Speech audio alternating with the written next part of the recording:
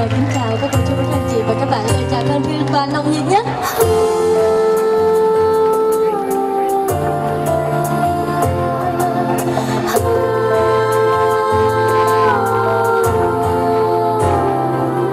mỗi ngày tôi chọn một niềm vui.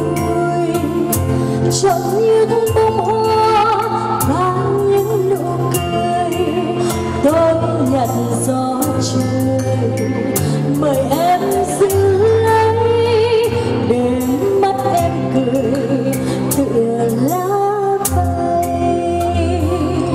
mỗi ngày tôi chẳng buồn mình đi, đừng để anh em thương bạn bè tôi đợi em về bàn chân quên.